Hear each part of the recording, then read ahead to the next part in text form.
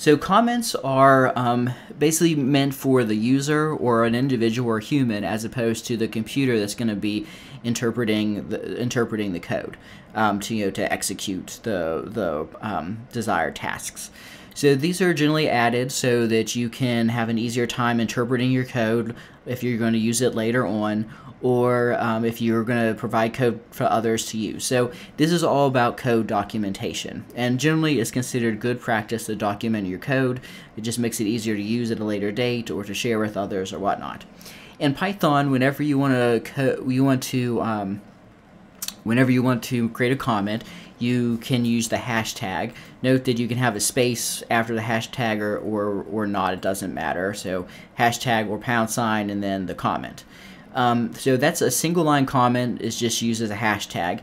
If you can also put comments after a line of actual code, and this will just be ignored. So y equals 2 will still be executed or interpreted, but this following component here will not be.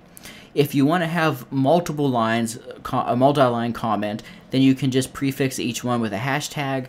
Another option is you can you can use a series of three quotes before and after multi-lines um, to um, to de designate that as a as a uh, as as a comment, and you obviously can't set that comment equal to a variable in that case.